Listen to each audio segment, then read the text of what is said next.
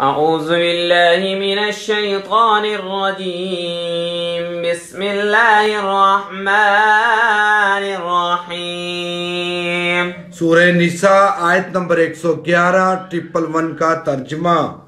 ومن يكسب إثما اور جو شخص کماتا ہے کوئی گناہ فإنما يكسبه تو بس کماتا ہے وہ اس گناہ کا وبال۔ على نفسه اپنی جان پر۔ وكان الله اور ہے اللہ۔ عليما حكيما ہر بات جاننے والا بڑی حکمت والا بے شک۔ ومن يكسب إثما فإنما يكسبه على نفسه وكان الله عليما حكيما۔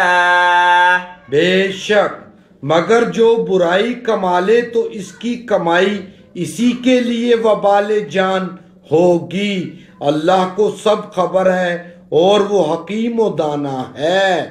بے شک۔ اللهم صل على محمد النبي الأمي وعلى آله وسلم تسليما آمين اللهم إنا إني أسألك علما نافعا ورزقا طيبا وأملا متقبلا.